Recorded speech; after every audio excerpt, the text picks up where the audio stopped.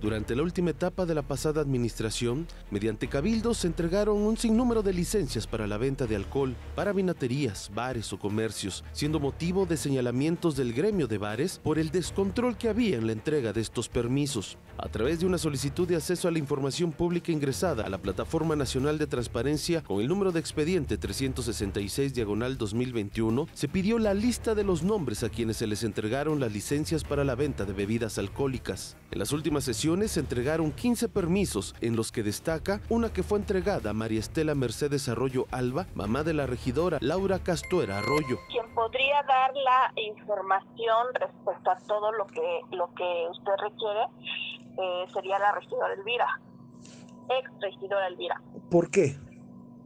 Porque ella es quien pasa los dictámenes de este tipo de permisos, ella le podrá decir si este, fue con toda la documentación como cualquier otro ciudadano o no. Otra, a nombre de Jimena Moreno Gómez, quien es hija de la actual pareja del ex síndico municipal Laura Gallego Sánchez. En esta misma lista se encuentra Jorge Amador León, quien es identificado como el primo de Elisa Amador Cabrera, que es esposa del exedil suplente Artemio Caballero López, permiso que fue solicitado en un cabildo el 6 de octubre. Además, licencia para una lonchería con venta de cerveza, teniendo la ubicación sobre el Libramiento Tecnológico San Marcos, a pocos metros de una universidad. Este negocio no existe, puesto que los locales que ahí están construidos están en renta y otros predios están en obra negra. Además de que se supone que para tener este permiso, el negocio debe de estar en condiciones de funcionamiento, contando con la validez de un uso de suelo y de protección civil. Sin embargo, este negocio no existe en estos momentos.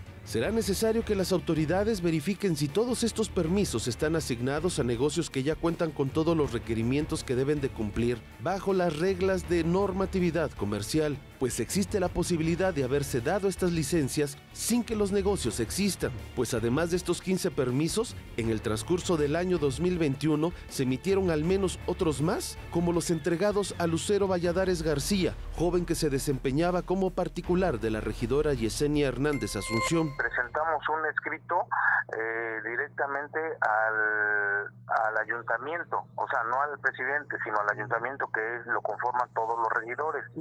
Y ahí este, solicité que, este, que se haga una revisión minuciosa de, este, de todos los expedientes eh, en donde se haya otorgado licencias de funcionamiento de dos meses con anterioridad. Solicitamos y le hice mención al ayuntamiento que ahí este, hubo corrupción y que las licencias se las dieron a familiares y prestanombres de funcionarios de la administración anterior. Para Mega Noticias, Iván Fierro.